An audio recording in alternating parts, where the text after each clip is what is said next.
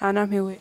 Anthony, And what is the most favorite field trip you've been to so far? the courthouse, Why was that your most favorite field trip? because we got to sit and watch an actual murder murder trial. Miles. And what is your most favorite field trip you've been to so far?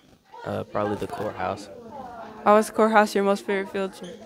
Um, because we got to stop behind a McDonald's. Did you learn anything from it? Um, stay away when there's bad things at the courthouse. I'm here with. Gabriel. All right. What is your most favorite field trip you've been to so far? Uh, third grade Legoland. Why was that your most favorite field trip? Legos are tough. Did you learn anything from it? Uh, Legos. And I'm here. Thank you. Michael, And what is your most favorite field trip you've been to so far? the courthouse, Why was the courthouse your most favorite field trip? because I know what place to avoid whenever I'm older. So that's what you learned from it. Yeah, to not go there. And I'm here with. Miles. What is the most favorite field trip you?